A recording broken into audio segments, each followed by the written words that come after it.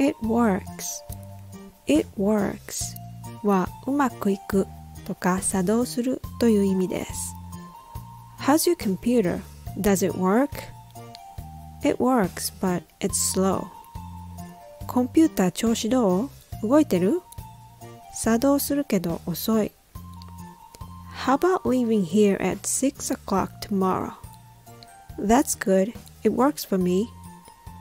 明日6時に出発するのはどういいよ。私にはちょうどいい。It works can mean a lot of things. So anything like electronic devices, plans, method, and things like that works if it brings out a good result.